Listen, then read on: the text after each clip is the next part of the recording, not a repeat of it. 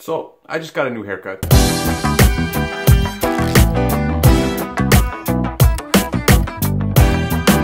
If you have an Italian parent who isn't already a hairdresser, this is pretty much what happens. You come home with a brand new haircut of today, a haircut of today, because we live now and not back in the 70s.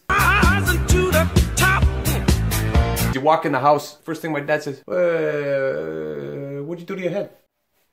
What'd she do? She can't cut even? Your hair's all wrong. Why don't you cut it nice? You know, you do like a split. Why, why don't you do it nice? Don't do it like this. Yeah, yeah. Why can't you do a normal haircut? You don't like the normal? What's a normal? What do you mean normal? What is it? What normal? What? Why is it crooked? It's crooked here. You don't see it crooked? She can't cut straight. God forbid you come home with a with a with a more modern haircut. What that? You don't like it? No, no, it's nice. I mean, if you like it, it's nice. But am I the only one seeing? You see what your son did here? You see how crooked it is? Who are we sending this kid to go get his haircut with? Don't we know anybody? We got somebody. From now on, no, no, don't worry. From now on, we're gonna make sure you get a nice, build a nice haircut. It's okay. If it were up to my grandparents and my parents, I would have a, a, a comb over split all my life, like Boy Wonder. You know, Robin, Batman and Robin. Holy cliffhangers, Batman. Burt Ward, Robin.